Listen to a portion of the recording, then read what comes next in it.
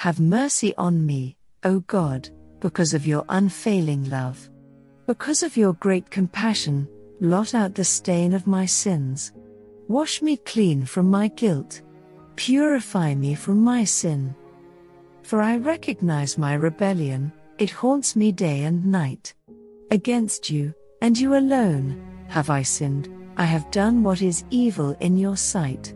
You will be proved right in what you say, and your judgment against me is just. For I was born a sinner, yes, from the moment my mother conceived me.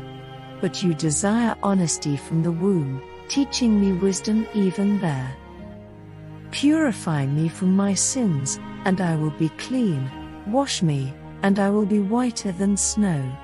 Oh, give me back my joy again. You have broken me, now let me rejoice. Don't keep looking at my sins. Remove the stain of my guilt. Create in me a clean heart, O God.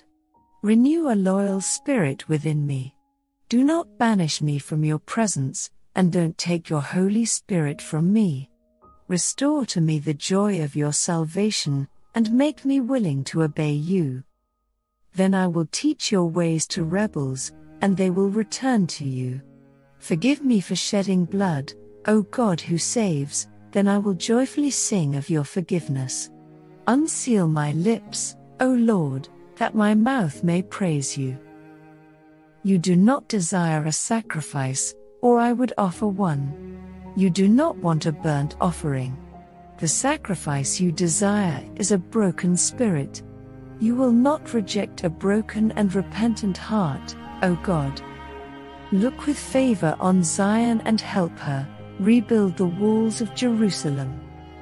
Then you will be pleased with sacrifices offered in the right spirit, with burnt offerings and whole burnt offerings.